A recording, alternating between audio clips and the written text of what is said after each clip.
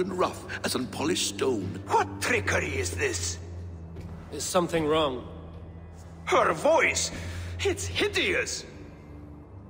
I have been told it has a seductive quality. By a wolf.